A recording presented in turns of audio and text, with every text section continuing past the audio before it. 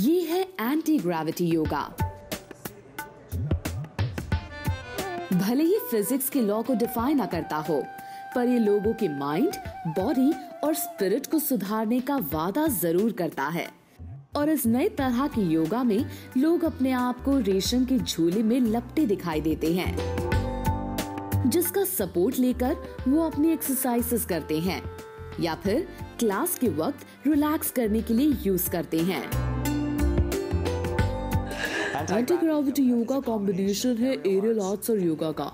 वैसे तो ये बॉडी माइंड और स्पिरिट के लिए एक प्रैक्टिस है, लेकिन ये एंटी ग्रेविटी लेवल पर होती है। तो एक फन प्रैक्टिस है। ज़ाहिर तौर पर उल्टा लटकना या उड़ने की कोशिश करना आपके लिए काफ़ी फ़ायदेमंद साबित हो सकता है।